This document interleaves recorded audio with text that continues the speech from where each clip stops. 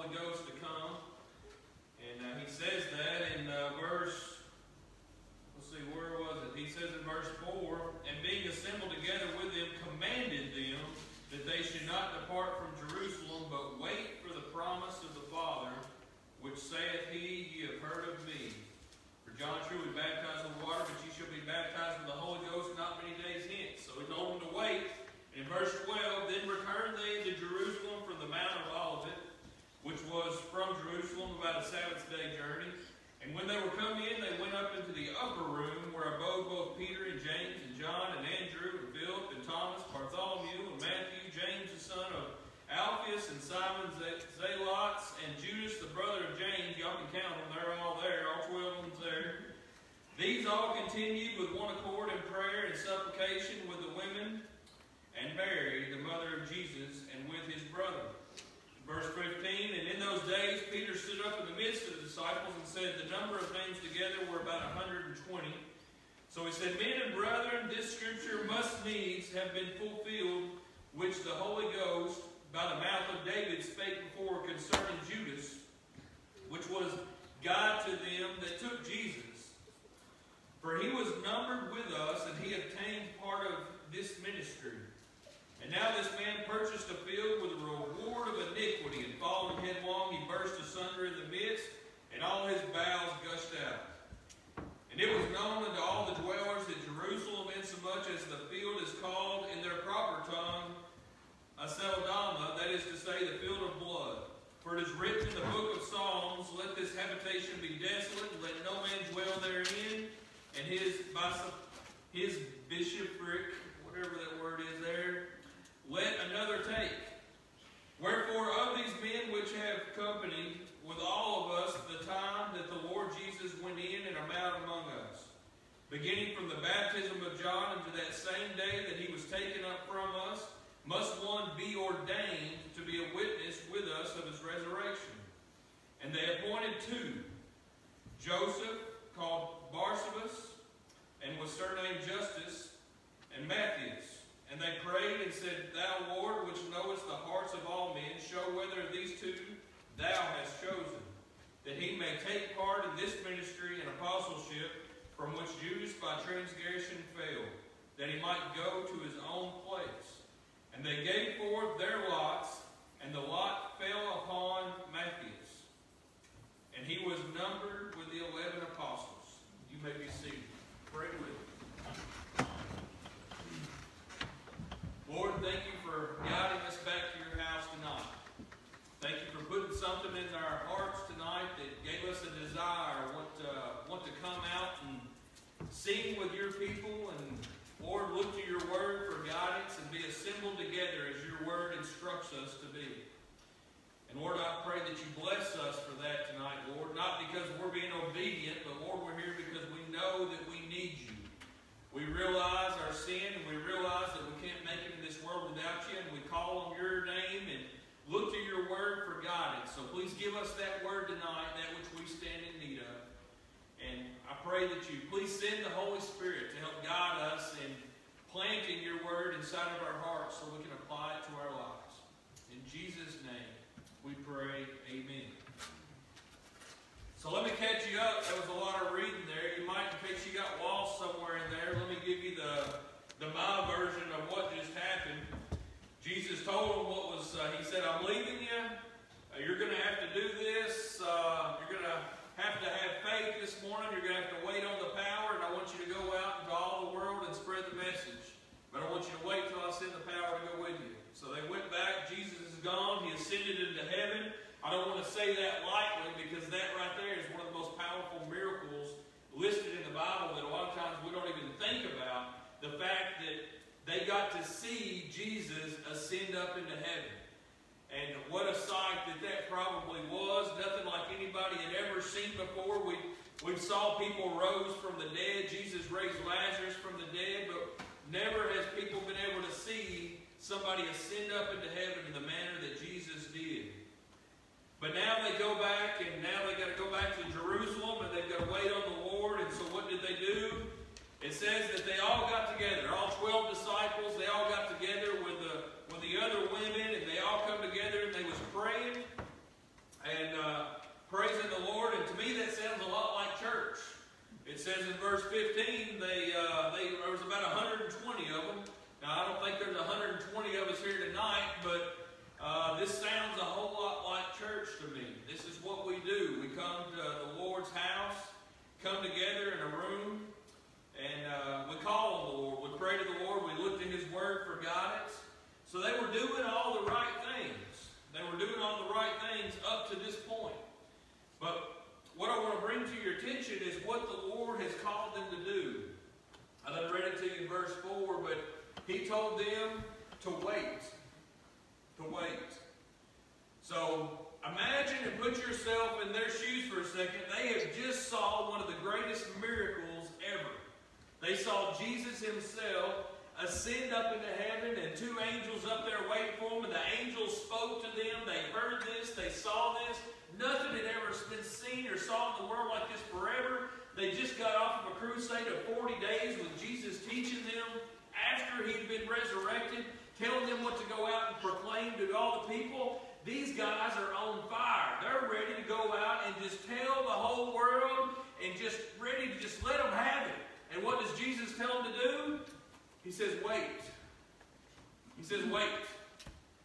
Now, obviously, there must be a lesson to be learned here if uh, we see such a contrast. And, and so he left, and then all of a sudden, when they went back to Jerusalem and they went to the upper room, we see a time period here for several weeks, maybe even a couple months, where nothing. Nothing. Have you ever been like that before? You, you kind of come off of that high with the Lord and you see Him so clearly, you see His presence, you hear His word, you know you're right in the center of His will, and then all of a sudden it's just like He's gone. He's not there anymore. And there was silence. And they got scared. They didn't know what to do. I've always uh, I've heard this and it makes a lot of sense, but you know the, the teacher is always quiet when it's test time. And that's what we're getting ready to receive right here is they were getting ready to have one of their first tests since Jesus left them. And we'll see that I don't think they did too good of a job, to be honest with you. They started off really good. They started off going to church. They started off praying. They started off, it says uh, they all continued with one accord. That's hard to do by itself for everybody getting one accord, so you know they must have had the right heart. They come together in prayer and supplication. They did it from their heart. They were coming to church for the right reasons. They were probably singing hymns. They were doing all the right things, but God was not there. They could not feel his presence. Jesus was no longer with them. What are they doing wrong? Can you imagine the thoughts going through their head? So somebody had to do something. And leave it to Peter. Leave it to Peter. So Peter comes in, and Peter decides he's going to do some things to get some things going. So the first thing that I want to bring to your attention right here, eh, the very first thing I see this, we're talking about patience. We're talking about power and patience. How there is power in patience. Because God told them to wait for His power. And they had to have patience on that. And they did good for a little while, but after two days, after three days, after a week, after two weeks, three weeks, a month, two months, after a point, we start to lose patience. And we start trying to come up with something. Something needs to be done. Something we need to interject something in this to be able to do. God is wanting us to do something. It's already been two weeks. It's already been three weeks. Come on, Lord, what do you want us to do? But we got to remember that God's timing is not like our timing.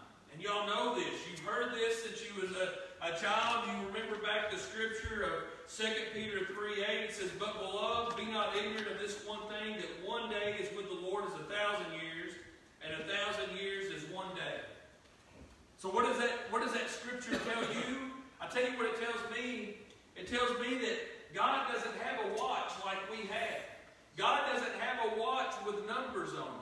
God's time is not like our time. He may not even call it time. We come up with time. He give us time by the sun and the moon. We can tell time, and we come up with numbers to be able to tell time.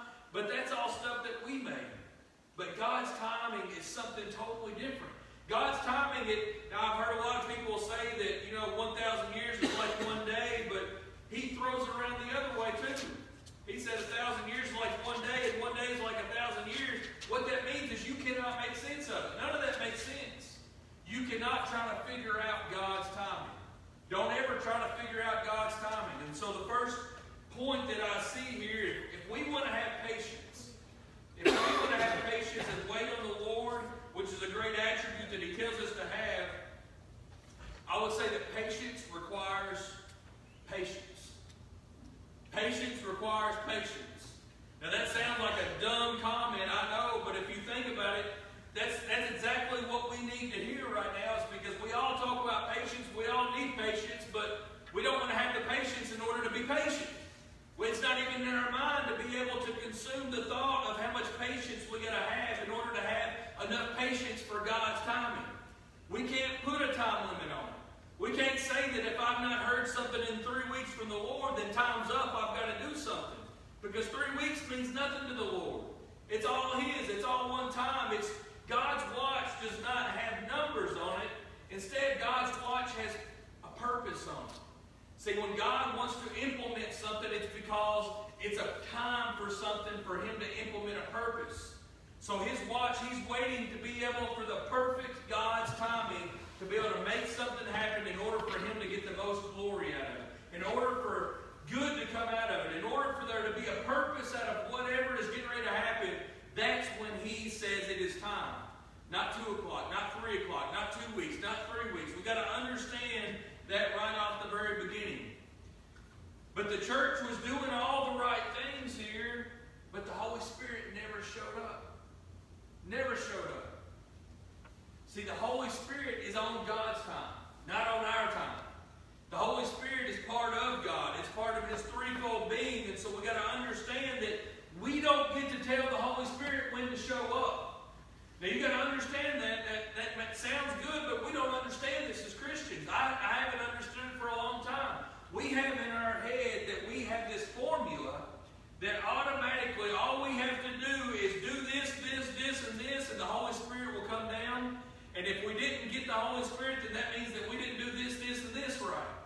Now there's a little bit of truth to that because I believe that the Holy Spirit does have some requirements of things for it to come together, for him to be invited, for him to be welcomed, for him to be able to come and be a part of a service. But we do not have the ability to be able to tell the Holy Spirit when and when not to come. We can invite him, but we can't do that. There's a lot of, I think a lot of churches, a lot of people that, that have this in mind that they think that if they can get themselves worked up enough, if they can get fired up enough, if they can yell loud enough, if they can sing loud enough, if they can get excited enough that they can have enough motion, emotion for the Holy Spirit to come in. But that's wrong. The Bible tells me that's wrong because they had all that. They had the emotion. They just come out of the greatest high that they never had. They just saw Jesus Christ ascend up into heaven, saw all these miracles. Then on top of that, they were already in one accord. Then on top of that, they were praying. They was looking to God for the answers, but the Holy Spirit did, still did not show up in those days. That's powerful. That means that just because church sometimes we're uh, we don't necessarily get to experience the Holy Spirit here with us doesn't necessarily mean that we're doing a bunch of stuff wrong. We just need to keep on doing what we're supposed to be doing, and the Holy Spirit will come when His purpose and His timing says He needs to come, and He wants to do something in this church. It may be that we have to, the Lord is, and the Holy Spirit is going to stay quiet for a while in a time period, that's part of the test. Is to see how long will you last without the touch of the Holy Spirit touching you and you feeling His presence. How long will it take for you to get discouraged? How long will it take for you to be able to get to the point where you say, well, I'm going to skip out on Sunday night? Or you just say, well, I, you know, I don't think I need to necessarily go, or I don't need to do this, or I don't need to share my testimony, or I don't need to. See, that's where Satan starts tempting us, and he starts getting in our heads a little bit, is when we're not getting what we're wanting. That's when he does, does that. So there is, there is power within the unity of the church. All the right things were there, ready for the Holy Spirit, but the Holy Spirit didn't come until his time was there. So we have to have patience on top of patience in order to make sure that we're staying within God's will. That's the first thing that I see here. The second thing that I see is that patience looks ahead, not behind. Patience looks ahead, not behind. And let me tell you where I get that at is what that's what we're talking about here. In this lesson, I see a lesson of patience. And in verse 15, we can imagine that Peter's probably going to be the first one to fail the test. Peter's the one that Peter's the one that when he walks into the room, he's ready for the fight. Peter's the one that's got all the energy. Peter's the one that, Lehman, you would have really liked Peter. Peter was just a, a kind of guy that just had all kinds of energy and he was ready to go. So Peter had lost patience. Peter didn't have any more patience. Peter never did have much patience to begin with, to be honest with you. He's the same one that cut off the ear of the soldier. He's the same one that always was right in the middle and quick to open up his mouth. Yet he's the one that Jesus chose to make the, the rock of the church. He's the foundation of the church. That's not by accident. He's showing us that even as the church, we're going to make mistakes, but He still loves us. He still chooses us to be the voice. He chooses us to be the foundation of His gospel. But here's what Peter did. Peter, he made the mistake, and you can tell he don't have patience, because instead, if he'd had patience, he would have been looking out ahead, trying to see what the Lord is going to do. Lord, what do you want me to do? Lord, what are you getting ready to send my way that you want me to prepare for? That's where Peter's mind should have been. But instead, here's where Peter's mind was at. Peter's mind was in the past, and he was thinking on the betrayal of Judas. That's where his mind was at. He was sitting here, and weeks went by, and he was trying to figure out what's going He said, I know why the Holy Spirit's not come. Because Judas, he was one of the twelve, and he was he had the devil in him. He wasn't the real thing. God is waiting for us to reunite the twelve, and before He's going to send the Holy Spirit, everything's got to be perfect before He comes. So that's it. He even Peter even used Scripture to be able to justify his thoughts and why he believed this. That tells me that Peter was even reading God's Word, trying to figure out what's going on. He was doing everything right. Says he made this one mistake. One mistake. He was looking to the past. He was trying to fix the past and trying to, instead of trying to fix the future. Do you know that you can't fix your past? There is no such thing as fixing your past. You cannot go back and fix anything in your past. The only thing that you can do is to fix your future. The only thing that you can do is make your future so bright that nobody cares about your past anymore. That's the only thing that we can do. Uh, we should be able to look at Paul's life and be able to see that.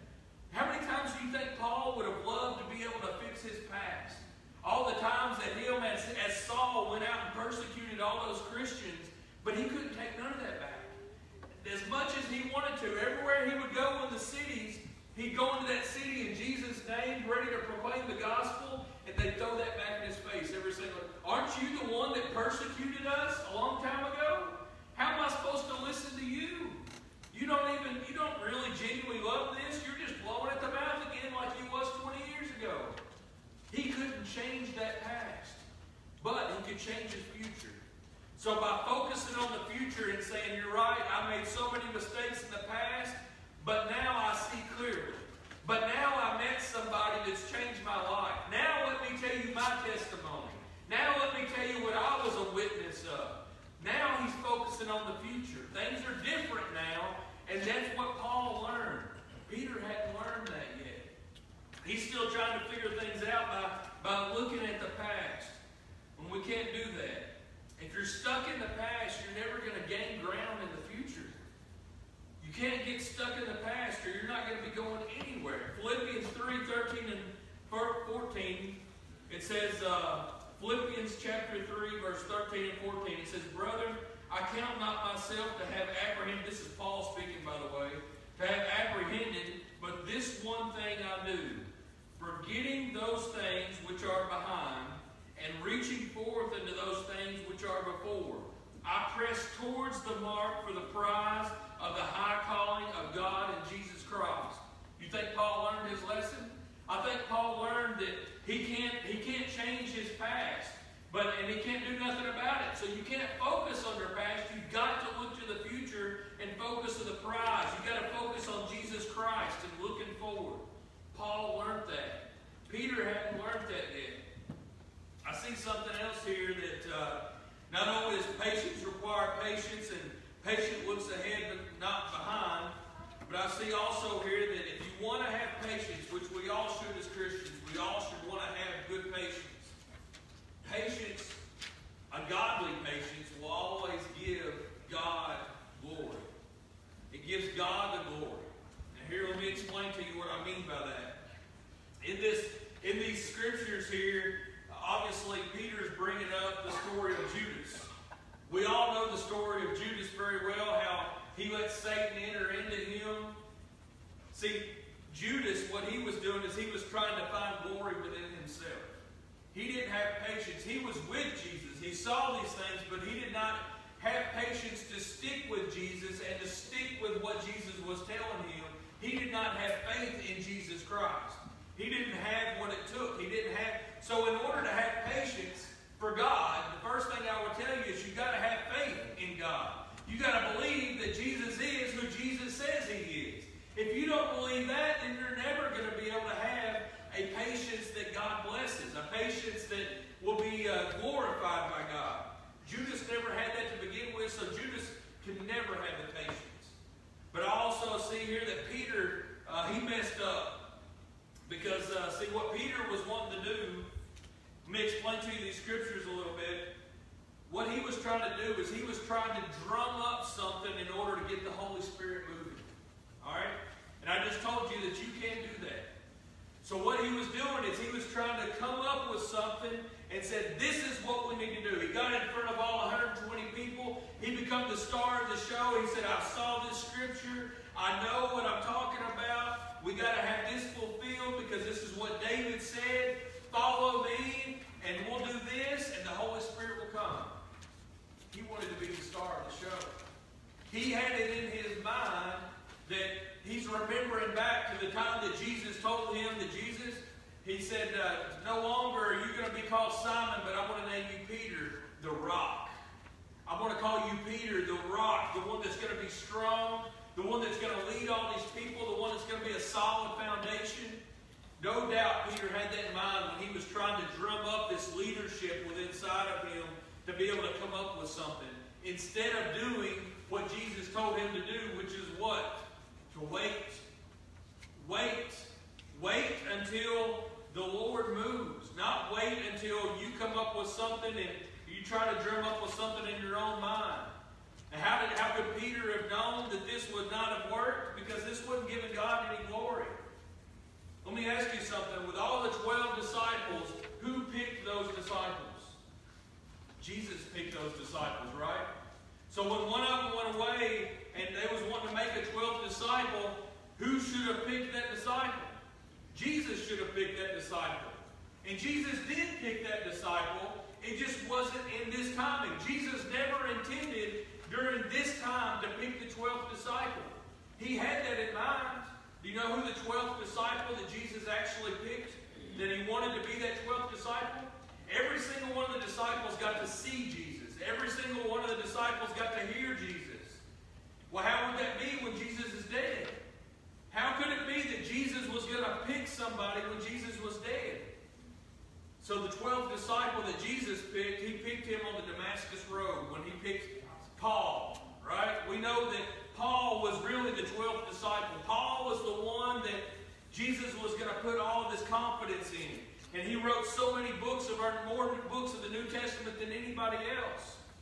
But Peter thought he had to play the role of Jesus in picking another disciple, when that was never Peter's part. What, what part was Peter supposed to play? This is like a rhyme, don't it? What part was Peter supposed to play? He was supposed to wait.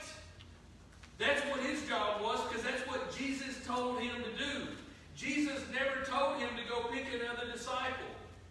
And how do you know that we can always look back, hindsight's 2020, right? Well, this, this new uh, disciple that Peter picked was, uh, have you ever heard much about Matthias, Matthias? There's not much in the Bible about him, is there? There's nothing in there. Because the Lord never blessed that. The Lord never called him to that. Have you ever heard much about Paul? Do you know much about Paul? We know a lot about Paul. See, God blessed that because that's the one Jesus picked. That's how you know if you're on the right track or you're not if God is blessing the choices that you're making or if He's not blessing the choices that you're making. You should be able to see little signs along the way that he, God has blessed those things that you're called on unless it's not His timing. I'm not telling you I know how to tell God's time. I don't want to pretend like I do. This message is for me just as much as you. But we've got to learn to have patience. We've got to learn to have patience and, and look for God's timing. But one thing I do know is we can't be a Peter and, and please the Lord when he's called us to wait.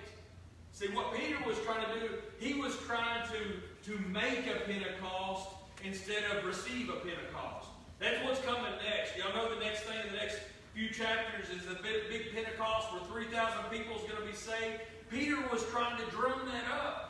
I know a lot of churches right now that I believe that's what they're trying to do is they're trying to drum up the Holy Spirit and get all fired up for it. And I think that's dangerous ground. I think we need to be obedient to God's word. And when the Holy Spirit comes by and connects with you, then be thankful for it. But you're not in control of the Holy Spirit. We need to understand that. We can't make the Pentecost. We can receive the Pentecost. That's what our job is to do. Most of the time when we try to make something happen, all we end up doing is make a mess. That's usually the way that works. That's the way that works in life, and it's the same way that works in church. You ever done that? Some days everything you go to do, it just messes up, and you tear something up. I've learned a little bit of wisdom that there's some days you just need to quit take a break and stop trying to fix everything because everything you touch, it just seems like just keeps going and becoming a mess. For some reason, I don't know, it's not meant for you to do that, so back away from it.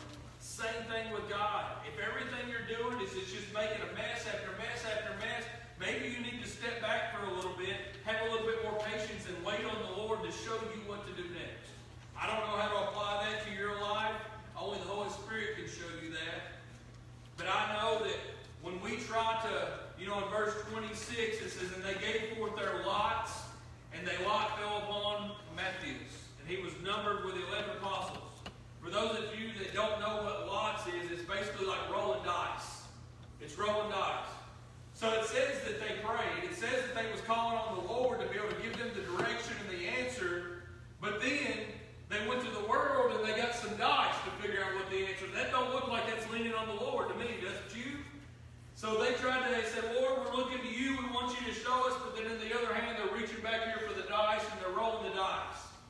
God says, no dice. No dice. That's what he told him. He said, that's not what I wanted. I don't know if that's where that term come from is no dice, but God said no dice right here. He, the, the time of casting lots is over with. We're not supposed to cast lots. You're not supposed to take things to chance. You take everything to the Lord in prayer. You take everything to Him and you wait for Him to show you what to do next. You wait for the right opportunity that feels right. Then you walk through that door. If something hits you upside the head, then you step back out outside that door and say, Oh, I wasn't supposed to be going through that door. That's how we know which way to go now. We don't roll the dice with life. You don't take those kinds of chances. That's not what he's calling us to do. But Peter was commanded to wait. When, when you know you're supposed to wait, that's a commandment. Better not mess with that. Moses did that one time. Moses was commanded to go over and speak to the rock in the wilderness, and water was going to come out of that, and God was going to get the glory from that, and everybody's going to see that Moses just spoke to that rock and water come out. But what did he do? He went over there and he struck it. If you don't follow what God wants you to do to the T, then that's dangerous ground. God's got a reason for every detail that he puts on your heart and the way he wants things done. He's got a purpose that he wants things lined up. But Moses had to pay the price because he wanted to do it his way. He thought, oh, well, it will look a whole lot better if I go over there instead of speaking to that rock. If I take this big old rod that I got, it's going to put on a show. It's really going to get everybody's attention. It's, everybody's going to really remember that. He started forming up things in his own mind of the way things should go. When you start trying to figure things out in your own mind, then you're losing the Lord's help. You're doing it your own way, and He's going to step back and just let you have it. God's timing is worth